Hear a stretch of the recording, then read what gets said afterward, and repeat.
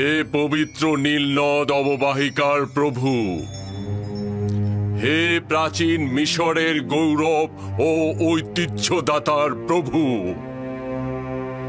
হে মহান খোদা আমুনের অংশীদার, মিশরের সাধারণ জনগণকে কুদ্রত দানকারী নীলনদকে বশ্যতা ও সুফল দানকারী মিশরকে উচ্চ মর্যাদায় আসীনকারী এবং মজবুত ভিত্তি প্রদানকারী চতুর্থ আমেন হোতেপ আমাদের জওয়ান বাদশাকে সকল ফেরাউনের কুদ্রত এবং শস্য শ্যামল পবিত্র নীলনদ সহ মিশরের উচ্চ মর্যাদা ও সকল কিছুর উপরে তার আনুকূল্য প্রদান করুন এবং তার শক্তি বৃদ্ধি করুন। তাকে দুশ্মনদের মোকাবেলা করতে এবং মিশরকে উন্নতির শিখরে পৌঁছে দিতে তাকে হেদায়ত দান করুন এবং যোগ্য শাসক হিসেবে তাকে প্রতিষ্ঠিত করুন। একই সাথে তাকে আমুন খোদার প্রতি আনুগত্য আনতে সহযোগিতা করুন।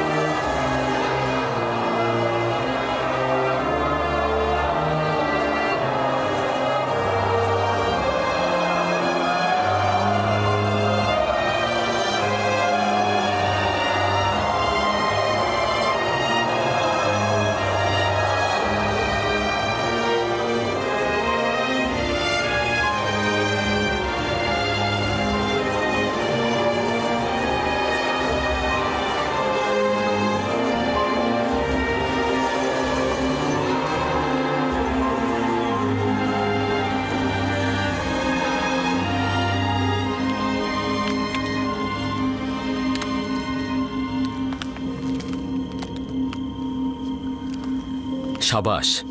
সাবাস ইসমত এই বাড়িটি নির্মাণে তুমি তোমার দারুণ দক্ষতা দেখিয়েছ।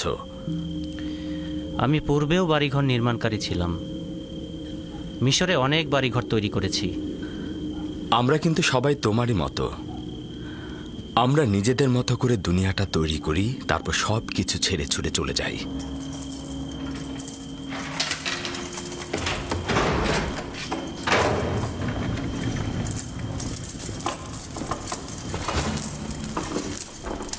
ইউজারশিপ একটা গুরুত্বপূর্ণ খবর আছে।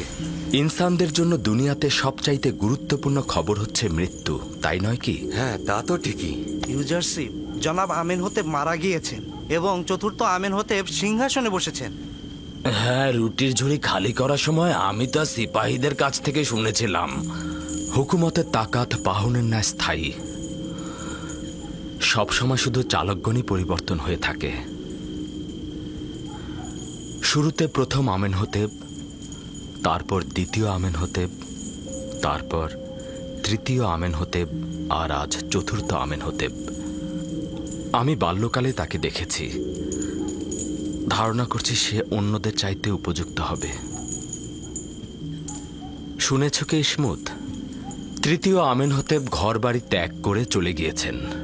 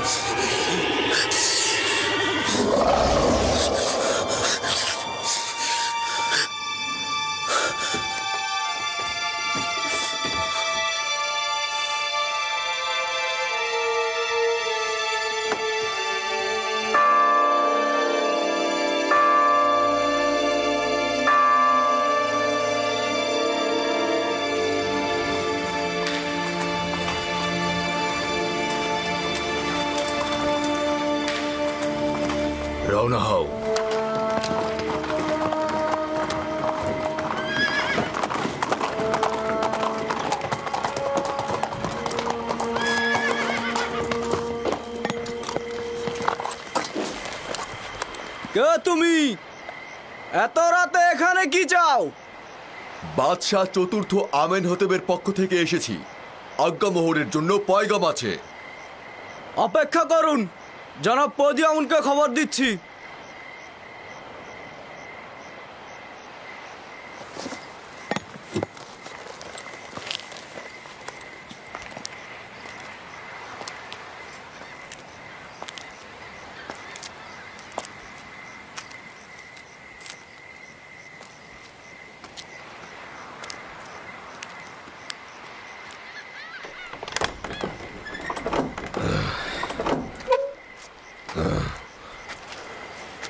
কি হয়েছে? এত রাতে এখানে কি চাও? মিশরের মহান বাদশাহ চতুর্থ আমের হতে খোয়াব দেখেছেন। আলী জনাব অজ্ঞামোহর সহ খোয়াব বিশ্লেষণকারীদের তলব করেছেন। ঠিক আছে তুমি যাও। আমি এখনই অজ্ঞামোহরকে খবর দিচ্ছি।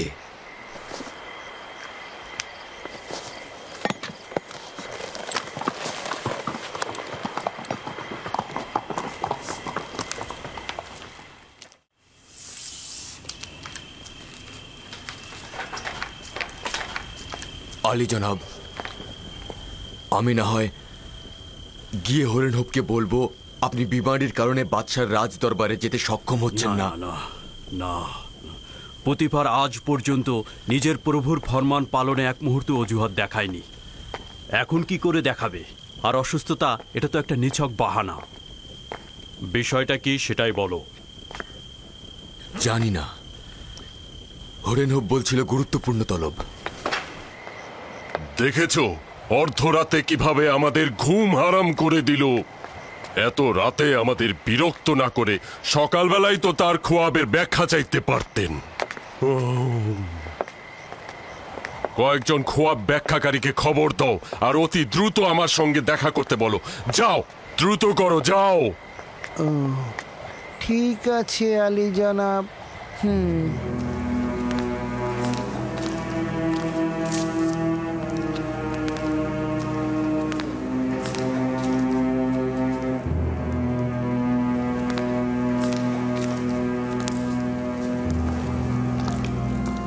আলী পুতিফার এবং প্রধান খাদেম অজ্ঞামহর প্রবেশের অনুমতি চাইছেন।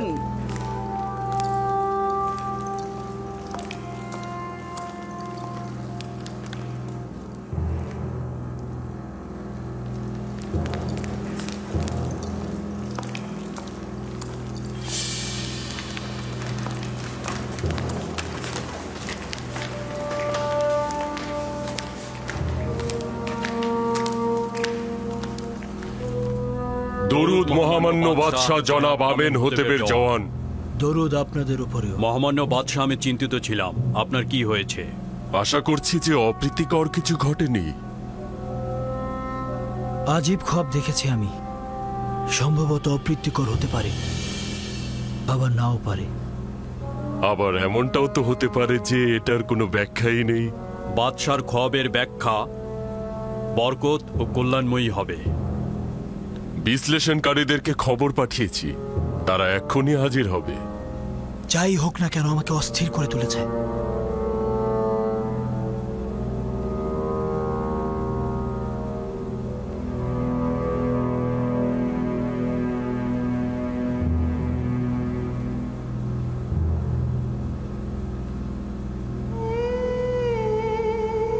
ইরানুস তোমার খোয়াবের ব্যাখ্যা হচ্ছে এই যে তিন দিন পর তুমি তোমার পূর্ব পেশায় ফিরে যাবে এবং আমিন হতেবের সাক্ষী হিসেবে সম্মান ও মর্যাদা পাবে। জি জি জি জি আলী জনাব। তুই কি আমার শরাব দানকারী শাকিনস জি জি জি আলী জনাব। আপনার খেদমতে হাজির জনাব। তাহলে শরাব কোথায়? আর আবু পিস তুমি তিন দিন পর শাস্তি স্বরূপ ফাঁসি কাষ্ঠে ঝুলবে তোমাকে ঝুলিয়ে রাখা হবে আর পাখিরা তোমার দেহ ঠুকরে ঠুকরে খাবে।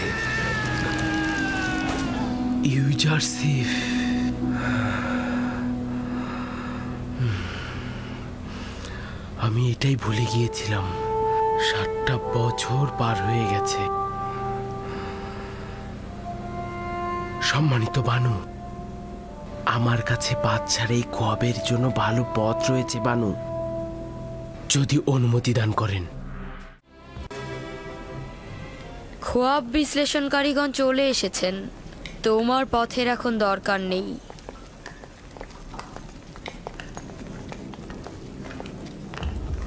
দরুদ মিশরের বাদশাহ মহান প্রভু আমেন হতে।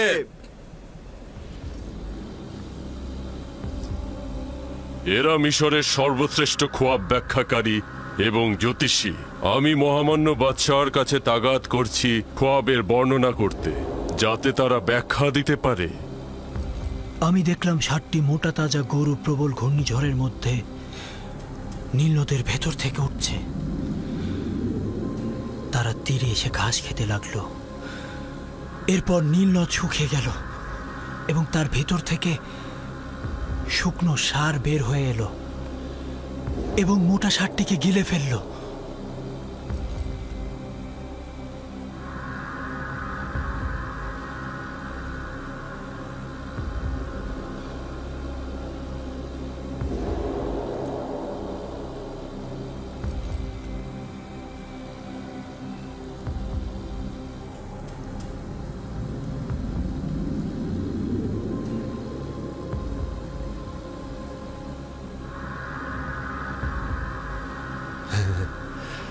যদি মহামান্য বাদশাহ অনুমতি দান করেন, তাহলে খোয়াব ব্যাখ্যাকারীরা একে অপরের সাথে আলোচনা করে নিক।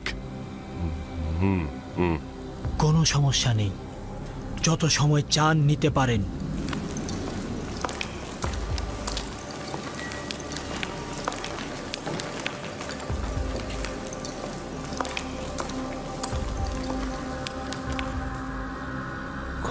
খোয়াবটা শুনে মনে হলো এর গভীর নিশানা রয়েছে।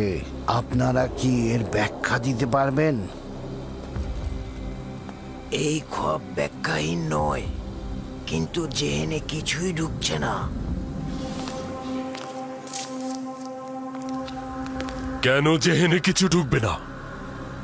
আসলে আমরা এই খোয়াবের কোনো কুল কিনারা পাচ্ছি না। তাহলে বলে তো এটা বিশৃঙ্খল খোয়াব। ব্যাখ্যা নেই। হ্যাঁ হ্যাঁ এরকমই বলতে হবে।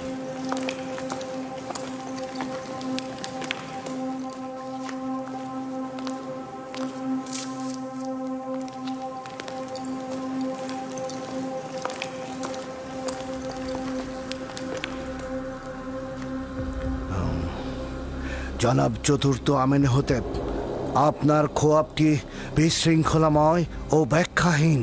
খোয়াবটি বেশ জটিল ও আতঙ্ক মিশ্রিত আমরা এরকম বিশৃঙ্খল খোয়াবের ব্যাখ্যা দিতে অক্ষম।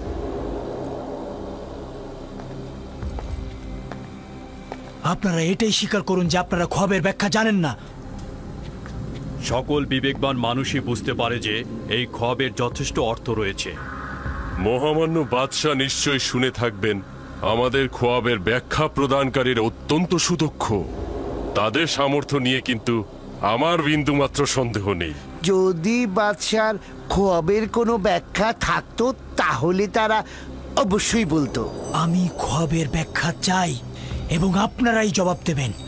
উত্তেজিত হবেন না মহামান্য বাদশাহ। এটা আপনার শরীরের জন্য ক্ষতিকারক।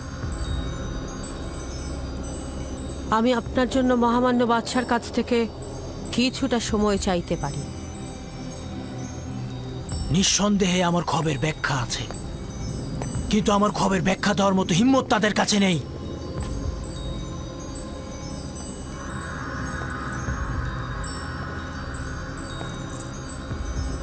এখন তো বানু অনুরোধ করছে আপনাদের ফুরসাদ দিতে। কিন্তু আমার খবের ব্যাখ্যা আমার চাই।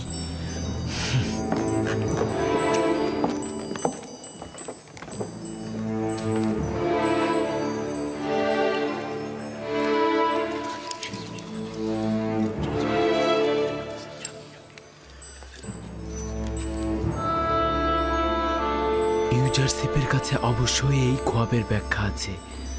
আমি কি বলব তাদের তাদেরকে ইউজারশিপের কথা? না না। তারা তো কেউ ইউজারশিপের বন্ধু নয়।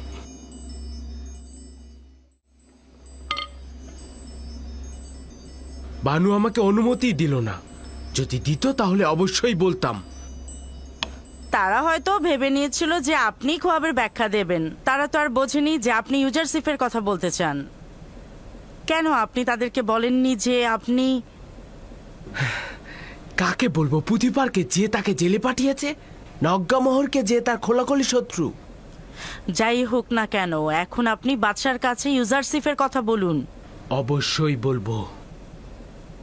সাত বছর পূর্বেই এইটা করা উচিত ছিল। সাত বছর পূর্বে যদি মরহুম বাদশার সামনে ইউজারশিপকে উপস্থিত করতে পারতাম জানি না কেন ভুলে গিয়েছিলাম। সে আমাকে একাত্মবাদী খোদার দিকে দাওয়াত করেছিল, আমার খোয়াবের সুন্দর একটা ব্যাখ্যা করেছিল। ওই সকল দয়া, ওই সকল মেহেরবানি। আর আমি কিনা একটা ছোট্ট তাগাদ ভুলে গিয়েছিলাম, যেটা কিনা আমার পয়গম্বরের তাগাদ। লানত আমার পুরে, লানত আমার পুরে। আমি কীভাবে তার মুখোমুখি হব? আপনার একদমই উচিত হয়নি ইউজারশিপের তাগাদ ভুলে যাওয়া। আচ্ছা আপনি আমাকে বলুন তো আপনি কি করে ভুলে গেলেন? সন্দেহ নেই শয়তানের লানত। আমার ভুলে যাওয়ার কারণ হয়েছে এই ভুলের জন্য। আমাকে অবশ্যই প্রাশ্চিত্য করতে হবে। অবশ্যই করব।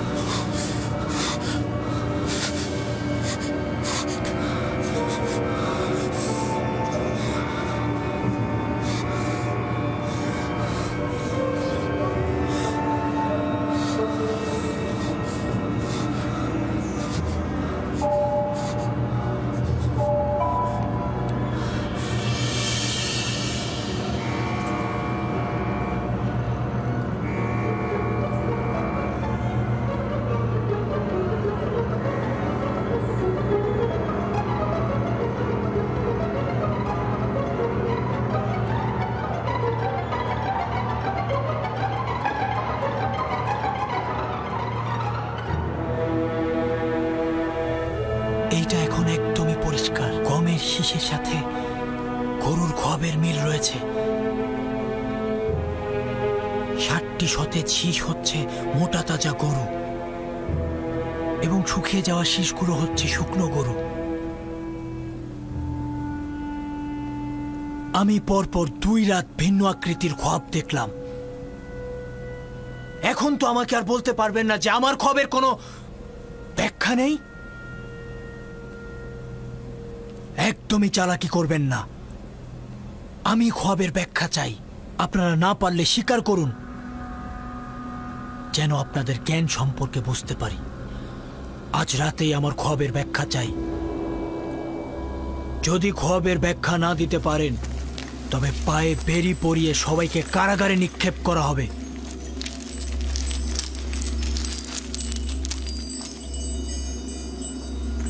সন্দেহ নেই যে আপনার খোয়াবের যথেষ্ট ব্যাখ্যা রয়েছে। কিন্তু এরা তা দিতে পারছে না। তাহলে উপায়টা কি? যদি ব্যাখ্যা করতে না পারে রাস্তা তো আছেই।